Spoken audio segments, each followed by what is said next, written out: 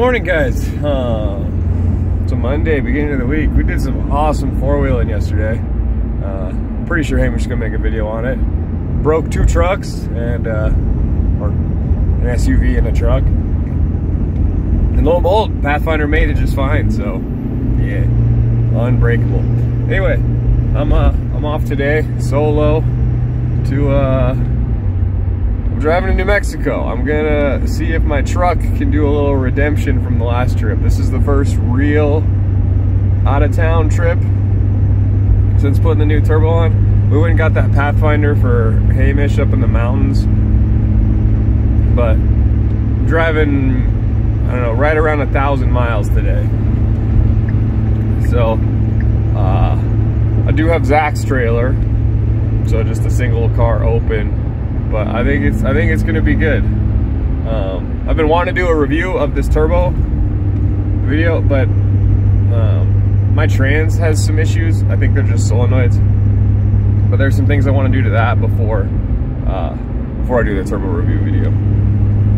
But she rips, she feels good.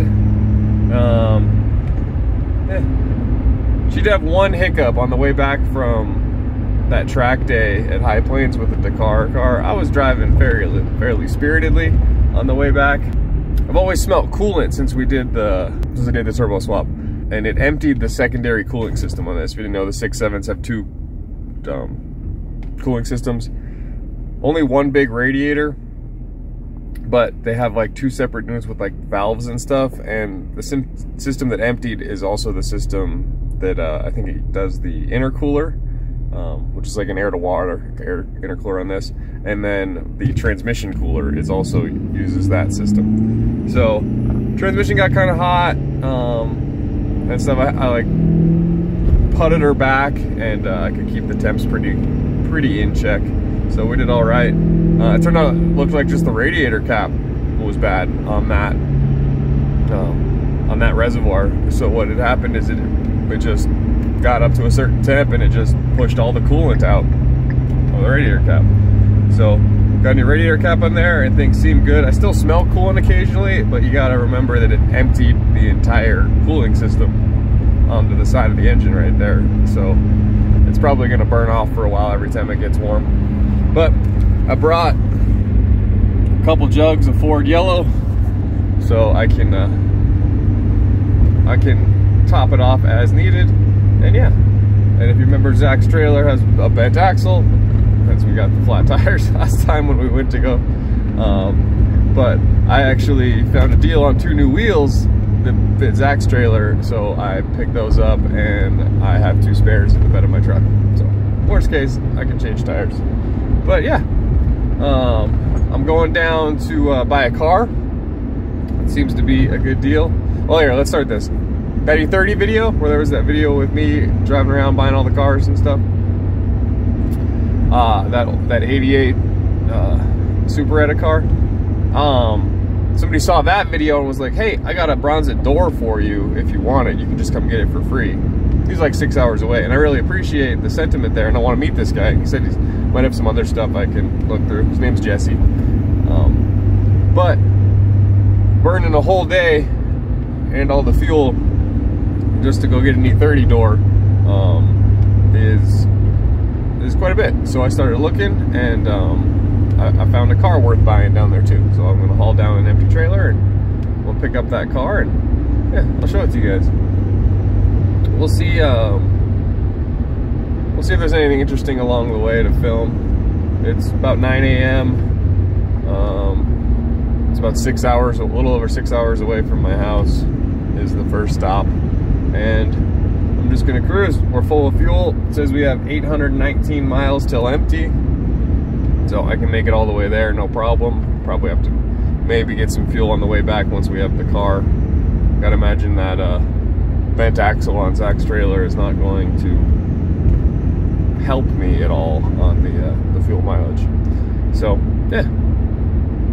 So I will check in with you guys and uh, yeah. hit that like button if you like these kind of videos, and uh, thanks for hanging out.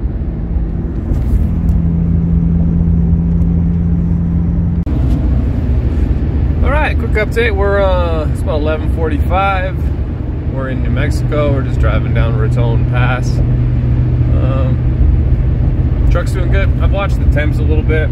Oil temp is been right around 200 degrees, a little under the whole trip, and trans temp as well stayed between 196 and 198. So, she seems fine. Obviously, we'll check tire wear when we get there on the trailer. See, but besides that, I think the truck's good. Um, yeah, I, I think I think we fixed pretty much everything. Done the little maintenance overhaul from the uh, from when the turbo blew up. Um, along with the new turbo, we also did put in uh, all new intercooler charge piping on the cold side and hot side of the intercooler. Because after we put the new turbo on, then it was blowing the couplers off and actually put a hole in two of them. So just small stuff. I still need to do the trans uh, work that I want to do because it's still, it's on upshift. It shifts really harsh from one to two. And then from downshifts, it shifts really hard. Ralph's calling. Um, it shifts really hard from three to two. So it's pretty much going into second gear. It doesn't like it. So it shifts, it always shifts into gear. It's just like really harsh, like it's not smooth. So I don't know. But anyway, um, a little over 200 miles out, a little under three hours away. And yeah, I'll show you guys this uh, this car that I found and decided to pick up. So, all right. All right, guys, I just uh, stopped up here real quick, checked tire wear on the trailer. They're wearing pretty bad. Um, those were brand new tires the last time I drove this trailer, and there's almost no tread left on the outside shoulders. So, text from Hamish. Um, I'm about 30 minutes out, about 30 miles out from the car. I might load the uh, car and then switch the tires that are on it. Uh, it's the front axle that's bent. Move those tires to the rear axle and then keep going and then watch those on the way back, the, the ones I moved to the front, and then put the spares on the front later if needed. So, yeah, it's uh, it's about 60 degrees, black asphalt, no water anywhere, so it's it's uh, it's definitely going to be wearing the tires more than in the rain or something like that. So, Zach, need to buy an axle. This is bad, or just fix my trailers. I don't have to borrow yours. No, Zach's a good dude. I actually dropped my trailer off from my shop to his shop last week, so hopefully, hopefully this week he fixes it. So that'd be cool. But anyway, I'm about half hour out. I'm going to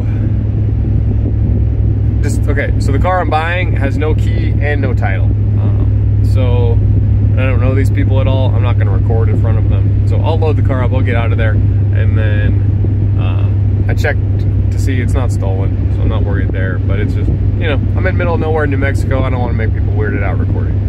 So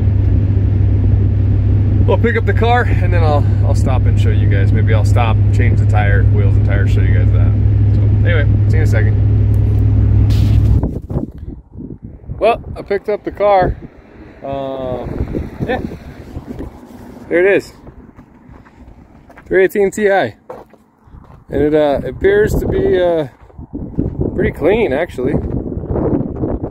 Um, I pulled this trim off. It looked like it was just two-sided taped on, and then uh, pulled the front off. It's in the back, but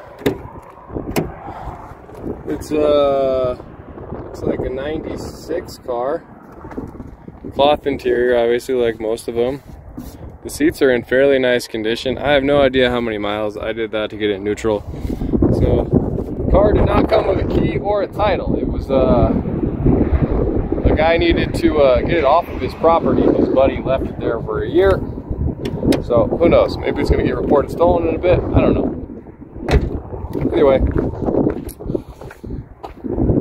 be a parts car for me, or we can make it a track car. We'll figure out something to do with it. But it's fairly clean.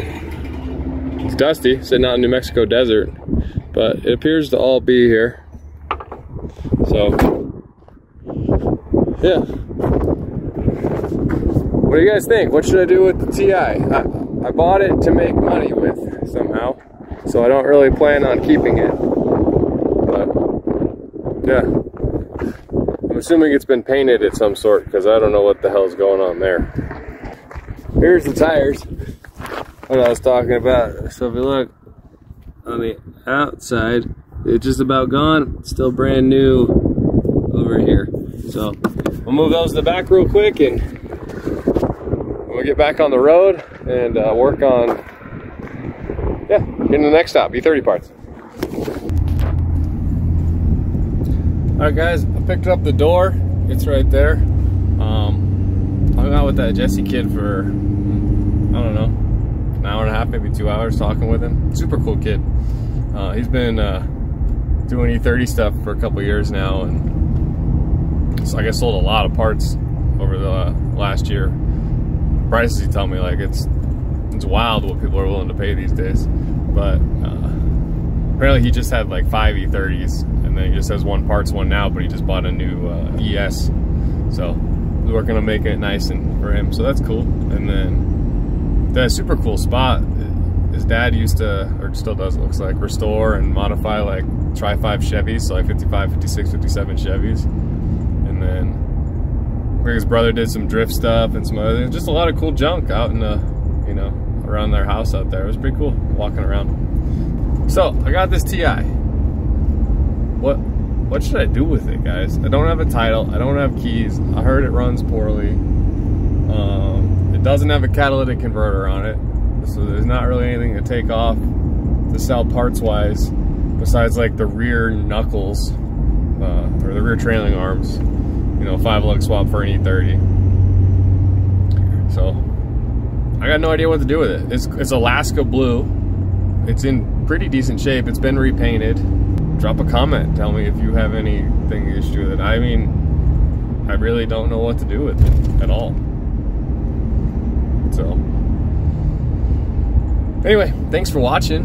Um, I'll catch you guys on the next one. I got some E30 plans. Um, I'm gonna share with you guys soon. Also worked on the GTR a little bit, and the uh, the gray one. The engine needs to come back out, but Nate from VIE's been helping, and and he's down to help again. We messed up a swap harness or one of the sub harnesses that's still on the engine is for an R33, not a 32, so it doesn't plug in. So we need to pull it. We might be able to do it in the car. We're gonna try, but yeah, that's what we got going on. So thanks for watching. Like, comment, subscribe.